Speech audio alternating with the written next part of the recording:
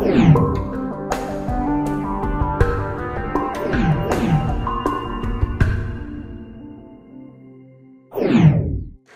is something like Daniel into the lines then, I suspect.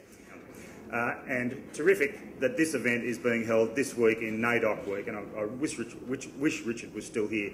Uh, just on 40 years ago, a great Labor, great Labor Prime Minister recognised the importance of land to the Aboriginal people in Australia.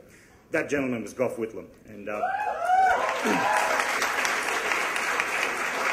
and and in acknowledging elders past and present, uh, I also acknowledge that today is Gough Whitlam's 93rd birthday in NAIDOC week.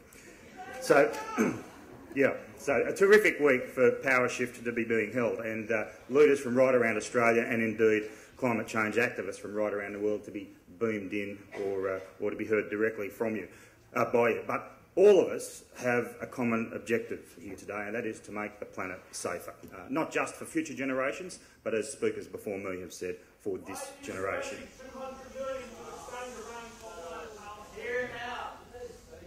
For this generation. The great thing about Power Shift and the Australian Youth Climate Coalition is not just your empathy with the problem, but your understanding of the problem to a level of detail that has escaped previous generations.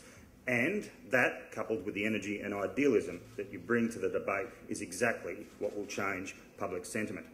This is preeminently and triumphantly, I'd suggest, a cause for youth.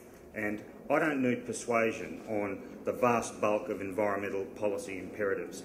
But there is no question, there is no question that your generation and the kids that are coming through in the primary schools behind you will drive this agenda in a way that politicians have never seen before. And I go to lots of schools, I talk to kids, I talk to kids who are 8 years old, 12 years old, 14 years old. They have a level of knowledge about this issue that far surpasses the average adult. And uh, you can look at it in policy terms, as I prefer to do, or you can look at it in political terms, as some of my opponents choose to do. Even if you look at it in simply political terms, the green agenda and environmentalism and environment-based policy is coming at politicians like a train down a tunnel. It's only a matter of a few short years away before there will be a tsunami of political opinion around green values to be reflected in the Australian political agenda and the Australian political environment.